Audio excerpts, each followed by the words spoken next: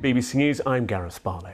In the past few minutes, the former First Minister of Scotland, Nicola Sturgeon, has been released without charge, pending further investigation. She'd earlier been arrested in connection with an ongoing investigation into the Scottish National Party's finances. It follows the arrest back in April of that of her husband, Peter Murrell, the former chief executive of the party, and the former treasurer, Colin Beattie. Both were released back then without charge pending further inquiries.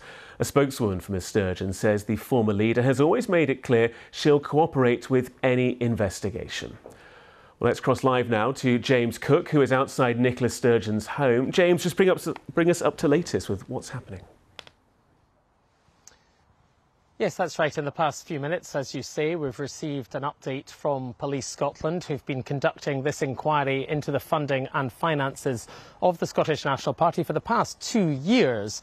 And in this statement, they confirm that a 52 year old woman, who we know to be Nicola Sturgeon, who was arrested earlier today as a suspect in connection with that on ongoing investigation, has been released without charge pending further investigation. We're told by Police Scotland that detectives arrested her her at 10.09 a.m. and she was released from custody at 5.24 p.m. here in Glasgow. So seven hours and 15 minutes in police custody, during which time, according to the police, she was questioned by Police Scotland detectives. The police now say, as would be standard uh, procedure at this time, that a report will be submitted to prosecutors, to the Crown Office uh, and Procurator Fiscal Service, which is Scotland's prosecution service.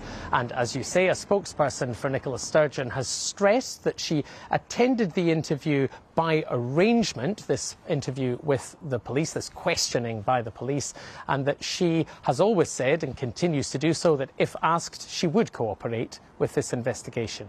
Yes, it's worth noting, isn't it, James, that Nicola Sturgeon's arrest and now release doesn't really tell us anything about the case, apart from the fact that investigations are ongoing.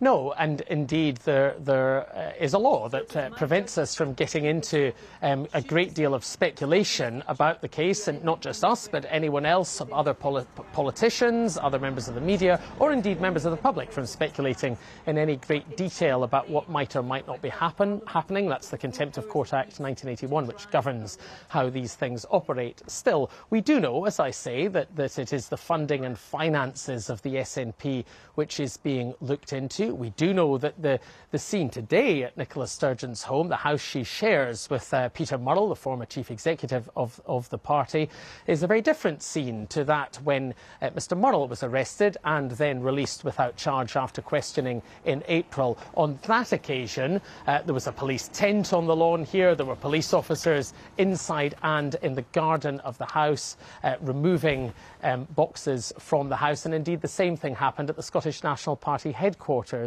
in Edinburgh. No such sign of that sort of activity today. It is, it is obviously very calm here on this very hot, sunny Scottish summer's evening. But we do know that this arrest and release without charge of Nicola Sturgeon really has sent shockwaves, not just through Scottish politics, but through UK politics. I mean, for, for, a, for a period, and she bestrode Scottish politics for a decade, really, as First Minister of Scotland and leader of her party. Uh, her supporters hoped, and some of her opponents feared, that she would lead Scotland to independence from the United Kingdom. Well, that heyday for Nicola Sturgeon and that optimism on behalf of her supporters certainly feels like a long time ago now. With regards to the wider political situation, James, what are the other parties saying? We've heard comments from, from Scottish Labour. Yes, so the, the Scottish Labour Party's position is that they want to know what the current First Minister, um, Ms Sturgeon's successor, Hamza Yousaf, might or might not have known about any of the events which uh, led up to this situation and which are being investigated by the police. Mr Yousaf, for what it's worth, has repeatedly said that it would be inappropriate for him to comment on an active police investigation. Indeed, as recently as this morning, although the interview was actually recorded on Friday for the Sunday with Laura Kuenssberg programme on the BBC.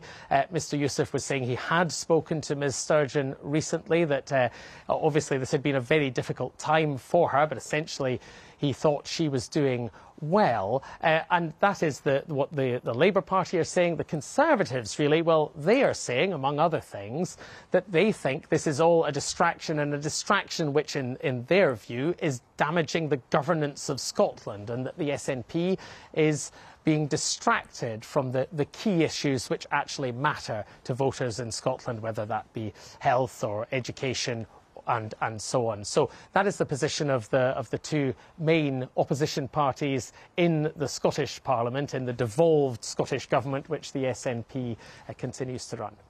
James, James Cook joining us from Glasgow for the moment. Thank you.